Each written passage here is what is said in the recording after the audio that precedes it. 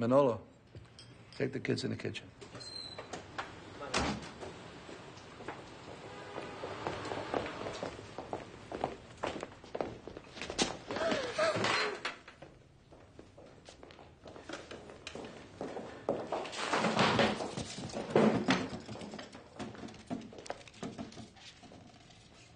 I have a lot of respect for your business, Tony. When you've you've killed for us in the past, we've uh, we've always been satisfied, and that's exactly why today is going to be very, very hard for me. I hope you'll excuse my mood.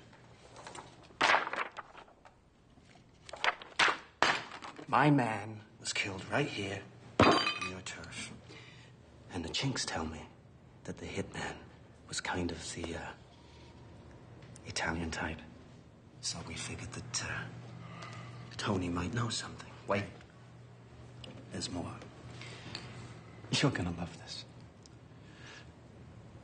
A few hours later, a little 12 year old girl comes into my office, armed to the teeth, with a firm intention of sending me straight to the morgue.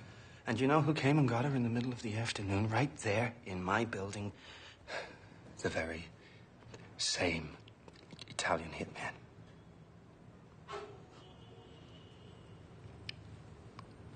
I'm dying to meet him.